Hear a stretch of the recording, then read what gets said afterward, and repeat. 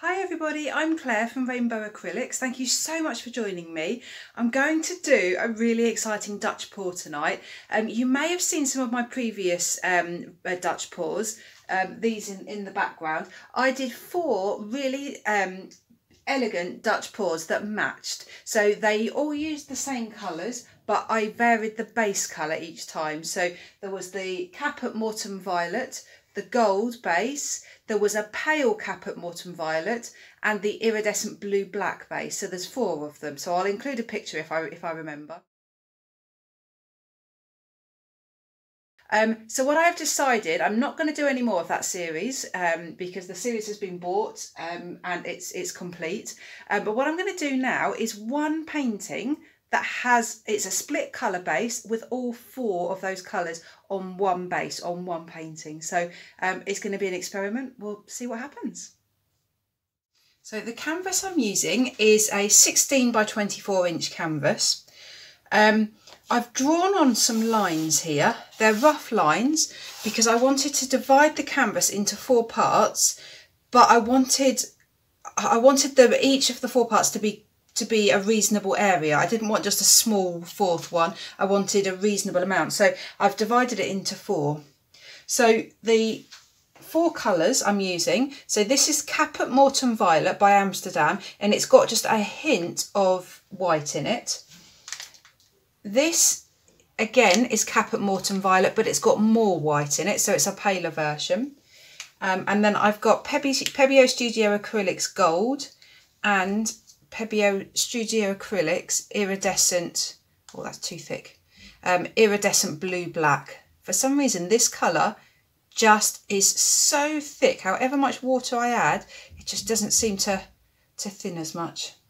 So the idea is to do each part of the base, one of these four colours, and then the design for the um, Dutch pour will have all of these colours in as well. So it basically matches the um, the the four paintings that I did previously, um, but all on one. So I think my plan is to have this as um, a portrait painting, but I'm going to I'm going to stand to the side, so it's going to be landscape for now. Um, but with that in mind, I think I'm going to go blue, pale violet, gold, dark violet think that's what I'm going to do. So let's start putting some of this base down. All my paints have been mixed with Flood Floetrol. Um, so it's two parts Flood Floetrol, one part paint to three quarters of a part water, unless it's an iridescent, um, and in which case I add one part water instead of three quarters of a part.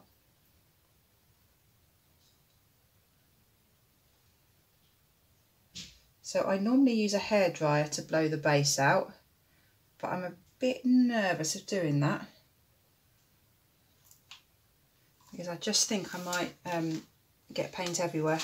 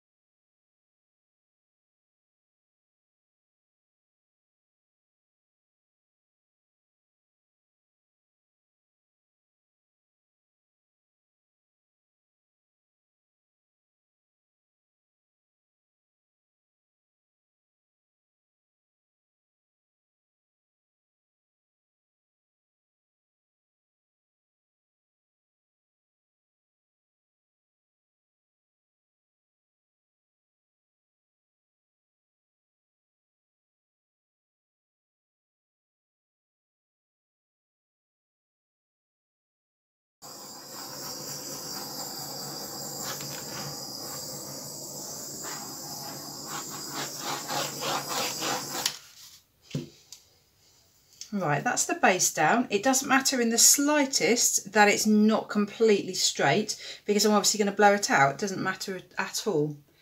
Um, although this is quite a narrow gap here,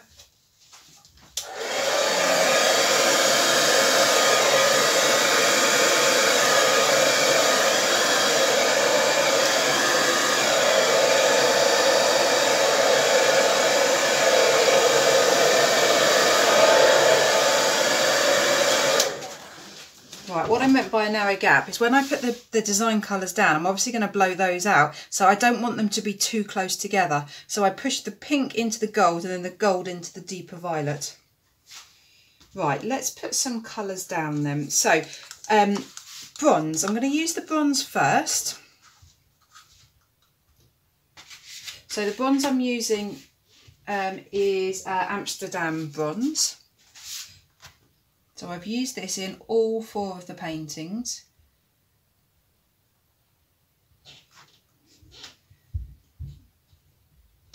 And I've always put the bronze down first in all four.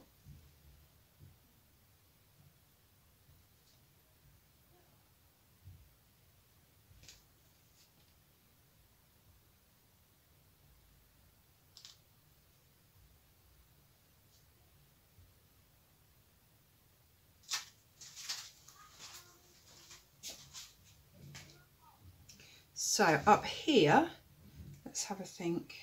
I'm going to put the light violet, the white, and I've got a bit of even darker um, Caput Mortuum violet with absolutely no um, white in, just the true colour.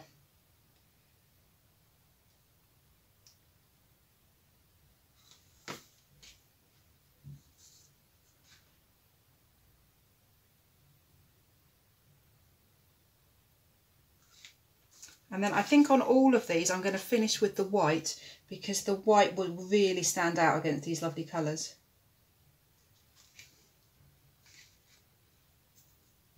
Oh, blue.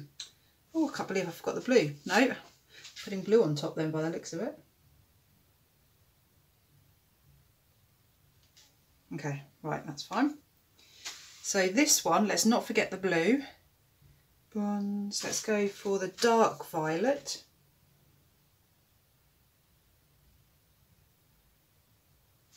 And in fact I'll do that here as well.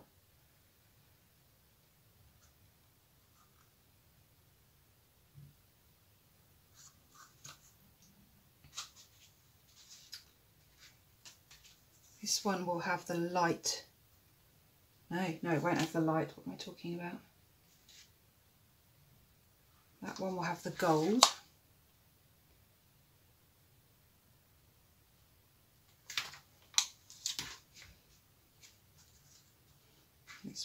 One the blue.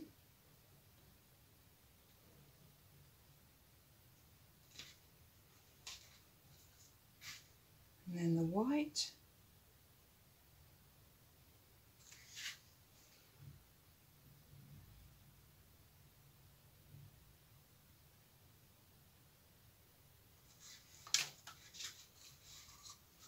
Just going for a tiny bit more of the dark violet just to finish that up this one. Right, I think that's done. So let's just torch that.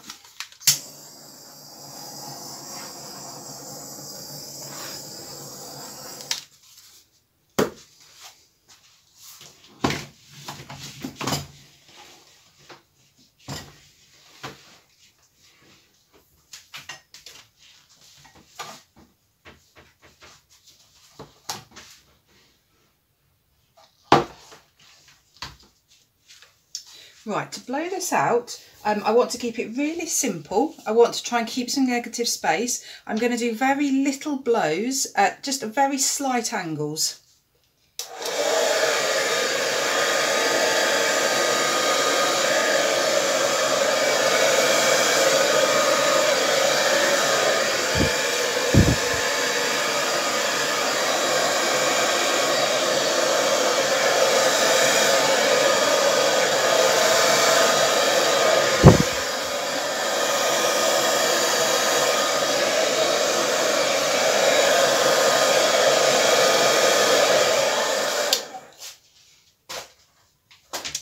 Right, I like it to start with. I've got lots of the individual colours, which I really, really like. Um, but I need to sort out the edges now. I like the I like the initial fanning out of the colours. Um, but I now just need to tweak everything. I'm a bit disappointed that the gold got lost in there. What I might do is try and fill that. I'm just pouring a little bit of gold on just to try and push those bits apart.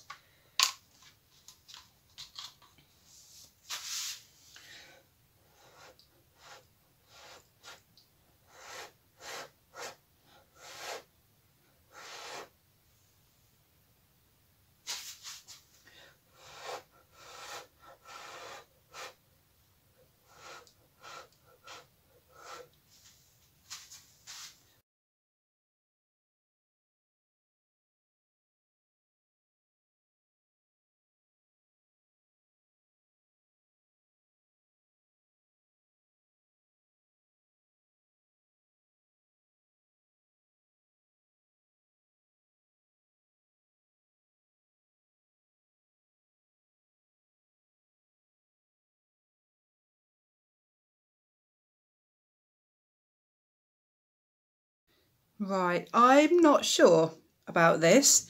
There are parts of it that I absolutely love. The colour scheme, um, I knew I was going to love that. Um, I love these colours together. Um, it looks very, very busy.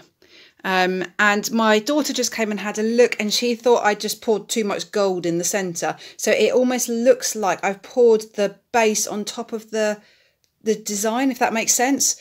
Um, until and then I explained to her that no, I put the base down. Oh, sorry, the base down first, and then the design colours on top. Um, just not sure. Um, colours are amazing. The cells. Let me take you and show you the, some of the cells. They have just come out beautifully. There's some absolutely stunning cells. Um, and I think it's come about because there's just a lot of iridescent colour um, on here just absolutely beautiful reactions of the different paints together. Um, I think it will really depend on how this dries. Um, I'm hoping that as it dries, that gold will just settle a little bit more into the background it might not, I don't know. If it doesn't, I might end up embellishing it or adding to it somehow or just trying to define it um, more. In fact, I do think it looks better back when you just stepped back. Maybe I've maybe I'm just I've been it's so busy in in in the painting for so for so long now blowing out these extra bits. Um I love these really irregular bits. I had so much paint on the canvas, so much base, I didn't blow enough off really, um, but it meant that I could just really be in control of all of these edges. Um, and they're very, very choppy, which is, I, I'm really pleased with. I really like it like that. Right, fingers crossed. I'll be back when it's dry. So here it is dry. Um, I don't know about this one. I'm still so on the fence with it. I'm still so unsure. Um, if I'm being totally, totally honest, and I hate to say this, I'm not that keen on it. Um, I love the colours. Um, I'm happy with the composition, but I just feel it's just a bit too much. It's too fussy. Um, I think if I just use three colours for the split base, that would be entirely different. Um, I'm just, do you know what? I think it's just this gold band. I'm not sure. If I think, I think if I'd had the blue, and the two violets, the blue in the middle, I think that might have worked. I don't know. I really need everyone's opinion on this, whether to keep this or paint over it, because I just don't know. There were some details which are gorgeous. Um, the colours are gorgeous. I love the colours. Um, and the cells and the, just the little details are so, so pretty. Um, I like the wispiness. I love these wispy irregular edges. Um, so there were a lot of pluses but I'm just not convinced it works together as a piece. I just feel it's a bit a bit too much, a bit over the top. Um, I hate to say that, I hate to be negative, but I yeah, I, I've got to be truthful as well. Let me know what you think. What shall I do? Shall I keep it? Shall I um, paint over it? Could I embellish it? Can you think of anything I could do to, I don't know, to change it, to improve it? I'm really, really stuck with this one. I really don't know what to do. Please let me know. Um, thank you so much for watching. Um, if you like it, give it a thumbs up. If you don't like it, just let me know, but politely, but I'll, I'll take any comments you have. Great, I hope you're having a lovely weekend. Bye.